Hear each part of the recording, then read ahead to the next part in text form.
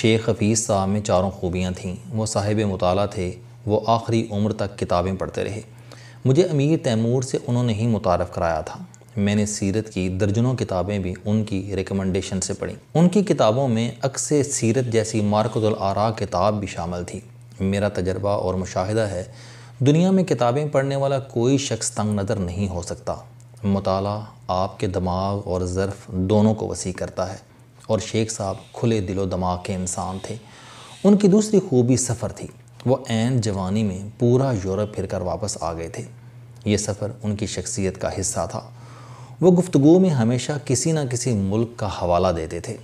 मेरा ये भी तजर्बा और मुशाहिदा है, सफ़र भी इंसान के विजन को खोलता है और मुसाफिर कभी बाइस्ड नहीं हो सकते। ये तमाम इंसानों से मोहब्बत करते हैं। शेख साहब हमेशा मशवरा दिया करते थे कि तुम दुनिया को जितना देख सकते हो, बुढ़ापे से पहले देख लो, क्योंकि इंसान साठ साल की उम्र के बाद बेबस होने लगता है। उसके हाथ और पाँव कंट्रोल में नहीं रहते। मैंने उनका यह मशवरा पल्ले बाँध लिया। उनकी तीसरी खूबी दुनियादारी थी। वो ज़िंदगी की तमाम भटियों से गुजरे हुए इंसान थे। बचपन और जवानी में बेतहा अमारत देखी। वालद रईस आदमी थे। उन्होंने बेटे को 1960 की दहाई में पढ़ने के लिए लंदन भिजवा दिया। वो जवानी में ज़िंदगी की तमाम फ़िक्रों से आज़ाद रहे। लेकिन ख़ानदान फिर जवाल का शिकार हो गया और सेठ का बच्चा होटल में काम करने पर मजबूर हो गया। रूजो जवाल के इस खेल ने उनके सामने इंसानों, दोस्तों, रिश्तेदारों और दुश्मनों के सारे रंग खोल कर रख दिए। मेरा ये भी तजर्बा और मुशाहिदा है कि दुनिया का जो इंसान जवानी में अरूज जवाल दोनों देख ले, वो मरदम शनास हो जाता है। अल्लाह ताला उनमें इंसानों की शनाख्त की सेंस पैदा कर देता है। और शेख साहब मरहूम में ये खूबी भी मौजूद थी। वो चंद लम्हों में दूसरे को समझ जाते थे। वो मुझे हमेशा कहते थे, किसी शख्स के साथ चलने से पहले उसे चेक कर लिया करो, धोखे से बच जाओगे। वो कहते थे, वादा किरदार का मेन सोर्स होता है। जो शख्स वादा खिलाफ हो वो कभी अच्छा नहीं हो सकता। और जो शख्स बात करने के बाद खड़ा रहे, वो कभी बुरा नहीं हो सकता। आप ख़ुद कभी वादा खिलाफ़ी ना करो और किसी वादा खिलाफ़ के साथ चलने की गलती ना करो। वो कहते थे कि लोग ज़्यादातर पैसे पर एक्सपोज होते हैं। आपके दोस्त अगर आपसे उधार लेकर वापस ना करें तो ये आपके दोस्त नहीं हैं। और अगर इसी तरह आपके मुश्किल वक्त में आपका खुशहाल दोस्त आपकी मदद नहीं करता तो आप उसे अपना दोस्त समझकर गलती कर रहे हैं और उनकी चौथी खूबी उनके बातनी ूम थे। वो रमल के माहिर थे। अल्लाह ताला ने उन्हें इस इल्म पर कमाल दस्तरस दे रखी थी। वो आदात का हिसाब लगाकर चंद लम्हों में पेशन गोई कर देते थे और उनकी पेशन गोई अमूमन सच साबित होती थी। मैं उनसे ये इल्म सीखने की कोशिश करता रहा लेकिन मैं पंद्रह साल की तपस्या के बावजूद ना सीख सका। वो कहते थे कि ये मुश्किल इल्म है, ये चालीस साल की मुसलसल मशक्क़त के बगैर नहीं आ सकता। शेख हफीज़ मरहूम हर लिहाज से मेरे उस्ताद थे। मैंने ज़िंदगी के हर मुश्किल लम्हे में उनकी मदद ली और उन्होंने दिलो जान से मेरी मदद की। कल रात शब बारात थी, मुझे अचानक शेख हफीज़ साहब याद आ गए। मैंने दिल की अता गहराइयों से उनके लिए दुआ की और फिर सोचा, मेरे उस्ताद की कोई ऐसी ख्वाहिश जिसे मैं पूरा ना कर सका हूँ। मैं सोचता रहा, लेकिन मुझे याद नहीं आया। हाँ अलबत् वो ज़िंदगी के आखिरी हिस्से में अपने पेंशनर दोस्तों के लिए परेशान रहते थे। वो कहा करते थे, हमने पेंशन के लिए मोतसब आला को दरख्वास्त दे रखी है। क्या ये फ़ैसला मेरी ज़िंदगी में हो जाएगा? मैं उस वक्त उनकी इस बात को सीरियस नहीं लेता था। लेकिन कल रात ये बात अचानक याद आ गई। शेख हफीज़ साहब ने पूरी ज़िंदगी हबीब बैंक में मुलाजमत की। ये उन्नीस सौ में वाइस प्रेसिडेंट के अहदे से रिटायर्ड हुए हुकूमत ने 2002 ईस्वी में हबीब बैंक की निजकारी कर दी। निजकारी के वक्त फ़ैसला हुआ कि बैंक के रिटायर्ड मुलाजमीन को उन्नीस की स्कीम के तहत पेंशन और अमरात दी जाएँगी।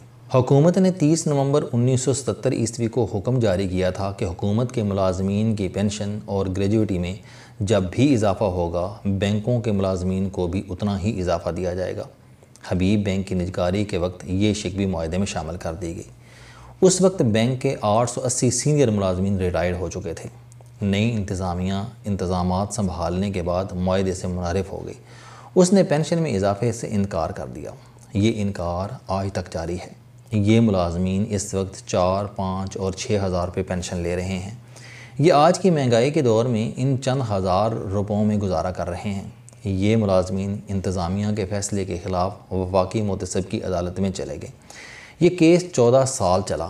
यहाँ तक कि वफाकी मोतसब ने 2014 ईस्वी में रिटायर्ड मुलाजमीन के हक़ में फ़ैसला दे दिया। बैंक ने फ़ैसले के ख़िलाफ़ सदर पाकिस्तान के सामने अपील कर दी। सदर ने यह फ़ैसला पेंडिंग कर दिया। ये फ़ैसला ताहाल मअतल है। इस दौरान 880 सीनियर मुलाजमीन से आधे शेख हफीज़ साहब की तरह इंतकाल कर गए, जबकि बाकी आधे ईवान सदर की तरफ़ देख रहे हैं। बैंक इंतज़ामिया की पूरी कोशिश है, ये लोग भी फ़ैसले पर अमल दरामद से पहले अल्लाह ताला को प्यारे हो जाएँ। ये लोग इस वक्त सत्तर और अस्सी की दहाई में हैं।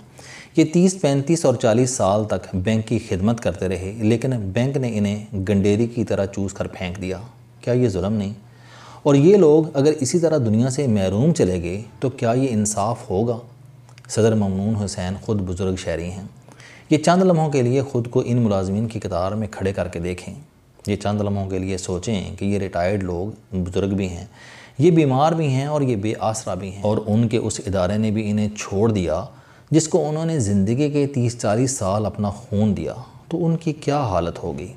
अगर आप उनकी जगह होते तो आप क्या महसूस करते? सदर ममनून हुसैन, अगर चंद लम्हे दे दें, ये अगर दो मिनट के लिए हबीब बैंक के पेंशनर की फ़ाइल मंगवा कर पढ़ लें तो मुझे यकीन है कि ये अपनी नाक के नीचे होने वाले जुल्म देख कर परेशान हो जाएँगे। ये जान लेंगे कि हमारा दफ्तरी निज़ाम ालम के साथ किस हद तक मिल जाता है। ये किस तरह तखीरी हरबे इस्तेमाल करके मज़लूम को मज़ीद मजलूम बना देता है। ये जान लेंगे कि वफाकी मोतसब आला ने 2014 ईस्वी में हबीब बैंक के मुलाजमीन के हक़ में फ़ैसला दिया। बैंक ने फ़ैसले के ख़िलाफ़ सदर पाकिस्तान को अपील की और सदर ने मामला पेंडिंग कर दिया। इस पेंडिंग को दो साल गुजर चुके हैं। इन दो बरसों में शेख हफीज़ जैसे दर्जनों रिटायर्ड मुलाजमीन इंतकाल कर गए हैं। बाकी तैयारी में बैठे हैं या फिर अस्पतालों में आखिरी साँसें ले रहे हैं। उनका क्या कसूर है? मुझे यकीन है कि सदर साहब जब ये फ़ाइल देखेंगे तो ये ख़ुद को उन बुज़ुर्गों, उन बीमारों के मसाइल का ज़िम्मेदार समझेंगे। सदर साहब, अगर हुकूमत के दूसरे इदारों के रिटायर्ड मुलाजमीन की पेंशन का रिकॉर्ड भी देख लें तो इन्हें मालूम हो जाएगा कि 16 बरसों में सरकारी इदारों बाशमूल स्टेट बैंक ऑफ़ पाकिस्तान के मुलाजमीन की पेंशनों में सात गुना इजाफा हुआ।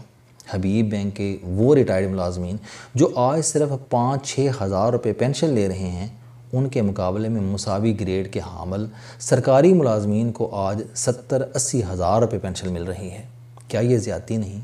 और ये ज़्यादती उस वक्त मज़ीद ज़्यादती हो जाती है जब बैंक ने यह पेंशन भी ज़ाती अकाउंट से अदा नहीं करनी। ये वो रकम है जो ये मुलाजमीन दौरान मुलाजमत अपनी तनख्वाह से कटवाते रहे। बैंक ने इस रकम की सरमाकारी की, अरबों रुपए कमाए, लेकिन ये अब उन मुलाजमीन को उनका हिस्सा देने के लिए तैयार नहीं है। क्यों? इन मुलाजमीन के साथ इंसाफ कौन करेगा? मेरी सदर ममलिकत और वज़ी अजम से दरख्वास्त है मेरी चीफ़ जस्टिस ऑफ़ पाकिस्तान और हाई कोर्ट्स के चीफ़ जस्टिस साहिबान और जजेस से भी दरख्वास्त है। मेहरबानी फरमाकर आप रिटायर्ड मुलाजमीन की तमाम फ़ाइलें मंगवाएँ और उनका फौरी फ़ैसला कर दें। हम लोगों को खूबसूरत बचपन और शानदार जवानी नहीं दे सकते, ना दें। लेकिन हम कम अज़ कम एक दस्तखत, एक फ़ैसले से चंद बूढ़ों, चंद बुज़ुर्गों की मुश्किल तो कम कर सकते हैं।